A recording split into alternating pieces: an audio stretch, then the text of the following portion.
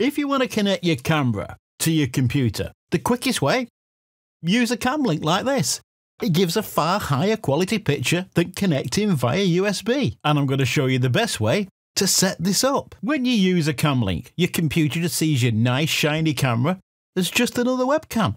And this gives us a lot of options. We can stream, we can record without using an SD card because we're recording directly to our computer. And if you're going live on Zoom, say, you're going to get a far higher quality of video than you would from one of those cheap, crappy webcams. So let's set this up. We've got our HDMI converter, our cam link, and we're going to need an HDMI cable. Now, quite a lot of cameras, like this Sony camera here, they've got a micro HDMI on the camera. So you're going to need an HDMI to micro HDMI cable. Now, make sure you check. Make sure you get the right HDMI cable.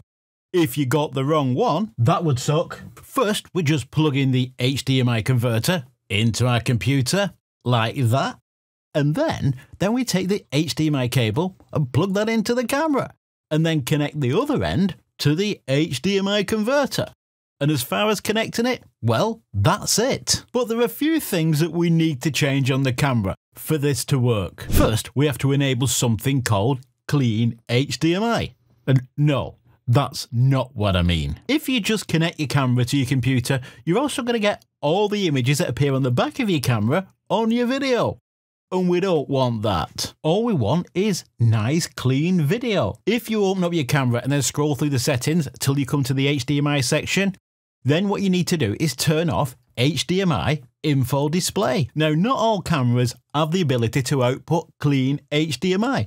Some of the Canon cameras, for example, and I'm not sure why Canon do this, but on some of the lower price Canon cameras, you just can't enable clean HDMI. And another thing, another thing that really winds me up. Some cameras have got this stupid 30 minute cutoff. And you know the reason for this? Tax. It's all about tax. So if you've got a camera that can't output clean HDMI, or it's got this stupid 30 minute cutoff, well, you just gonna have to put up with it, or get yourself a cheap camera. Something like this Sony ZV-E10. It's got clean HDMI, and no stupid 30 minute cutoff. In fact, the Sony ZV-E10, this is the camera that I recommend to all my students in my Pro Video Bootcamp. And if you want to check that course out, I'll put a link below. Anyway, now we've got our camera set up and connected.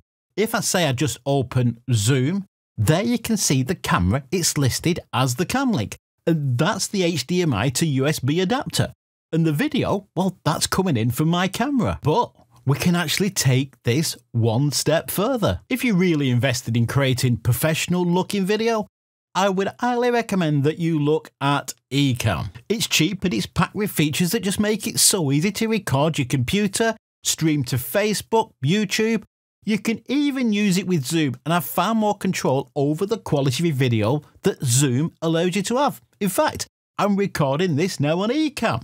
I record all my content directly to my computer without having to mess about with with SD cards. I'd be totally lost without Ecamm. It's a great little tool. It's a total game changer. And I'll put a link below to a free trial. Anyway, lastly, let's talk about audio. Getting your audio to come in with your video through the HDMI capture card. By feeding your mic directly into your camera, you end up with your video and your audio being perfectly synced. It makes editing, recording, streaming, makes it all far easier. And if you want to know how, how to do that, how to connect a mic like this directly to your camera and have your video and your audio coming in together, you'll want to watch this video next.